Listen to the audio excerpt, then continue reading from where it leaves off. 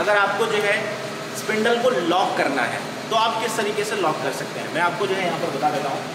सबसे पहले आपको जो है कमांड लगानी है एम वन नाइन एंडो ब्लॉक इंसर्ट ठीक है, जैसे ही आपने ये लगाई कमांड और साइकिल बटन को ऑन किया तो आप जो है अपने स्पिंडल को देखिए, ये देखिए।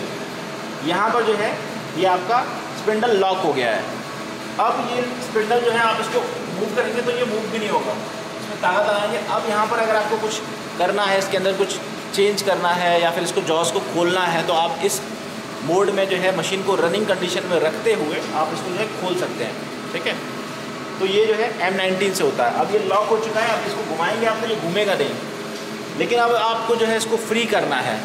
तो आप जो कमांड लगाएँगे एम ट्वेंटी यहाँ पर देखिए एम टू ज़ीरो एंडो ब्लॉक और इंसर्ट ये कमांड जैसे ही आप लगाएँगे और उसके बाद आप साइकिल बटन को ऑन करेंगे तो जो है आपका स्पिंडल जो है, ये फ्री हो जाएगा. इसको मैं आपको दिखा देता हूँ, ये देखिए. ये देखिए, आपका स्पिंडल जो है पूरी तरह से फ्री है.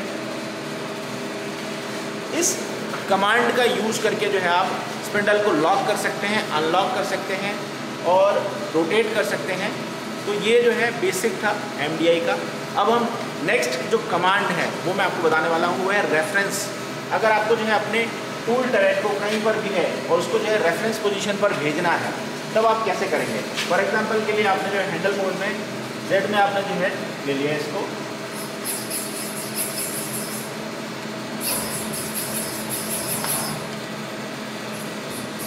ठीक है? यहाँ पर देख सकते हैं। ये जो है पोजीशन आप देख सकते हैं। पास से दिखाओ ये देखिए, आपकी जो मशीन है कहीं पर भी है, बट आपको जो है पहले रेफरेंस करना है। तो रेफरेंस कैसे करेंगे? इसके लिए जो है आपको सबसे पहले तो यहाँ पर देखिए, ये रेफरेंस रिटर्न बटन है, इसको जो आप प्रेस करेंगे, यहाँ पर आपने प्रेस किया। तो पहले आपको जो है एक्स या जेड ठीक है प्लस डायरेक्शन में आपको जो है बटन प्रेस कर रहे हैं। तो पहले हम एक्स में करके देखते हैं तो एक्स प्लस वाला जो डायरेक्शन वाला बटन है, इसको जैसे ही प्रेस करेंगे तो हमारा जो टूल टरेट है, यहाँ पर दिखाइए ज़रा, ये जो टूल टरेट अभी इस पोजीशन पे अपनी होम पोजीशन पर पहुँचेगा एक्स डायरेक्शन में। ये देखिए ये देखिए, अपनी होम पोजीशन पर पहुँच गया। और जेड में जैसे ही प्रेस करेंगे तो देखिए, यहाँ से टूल का मूवमेंट जो है, अपने आप होना स्टार्ट हो जाएगा। देखिए, ये देखिए ये देखिए ये देखिए टूल आपका जो है, अपनी होम पोजीशन पर पहुँच गया। और पैनल पे आप देख सकते हैं एक्स की वैल्यू ज़ीरो और जेड की वैल्यू ज़ीरो हो गई है, ठीक है?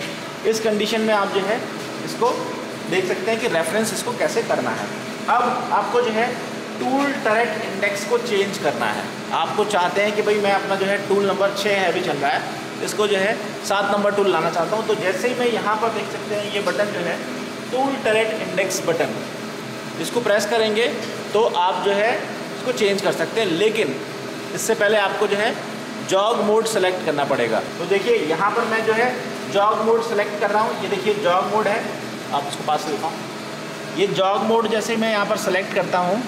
और मैं अपना टूल टरेट इंडेक्स जो है ना टूल टरेट को जो है चेंज करना चाहता हूँ तो देखिए। देखिए। अब मैं यहाँ पर जो है टूल टरेट इंडेक्स का देखिए छः नंबर टूल एक्टिवेट है। तो यहाँ पर मैं चाहता हूँ कि सात नंबर आठ नंबर या कोई दूसरा टूल लाना चाहता हूँ तो मैं टूल टरेट इंडेक्स को प्रेस करूँगा। देखिए मैं यहाँ पर प्रेस करने जा रहा हूँ। इसको दिखाओ। ये देखिए। देखिए सात नंबर टूल एक्टिवेट हो गया है। ये देखिए आठ नंबर टूल हमारा एक्टिवेट हो गया ये हमारा आठ नंबर का टूल है। ये एक्टिवेट हो चुका है। अब हम चाहते हैं कि एक नंबर का टूल आए तो एक नंबर पे हमारा जो ड्रिल है, ये देख सकते हैं आप ड्रिल एक्टिवेट हो गया। तो टूल टरेट इंडेक्स से हम जो है टूल टरेट को चेंज कर सकते हैं। अलग अलग टूल लगाए हुए हैं, ठीक है?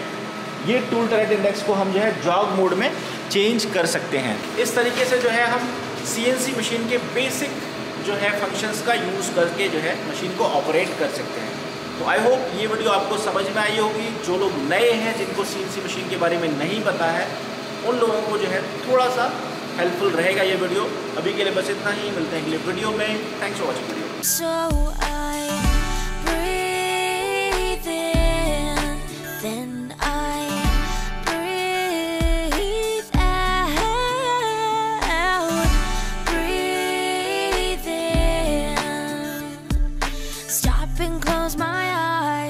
slowly breathe out. So sick of you know who, wearing heels to hide the blues from all the pain you put me through. I cover my eyes so I don't see you, so I.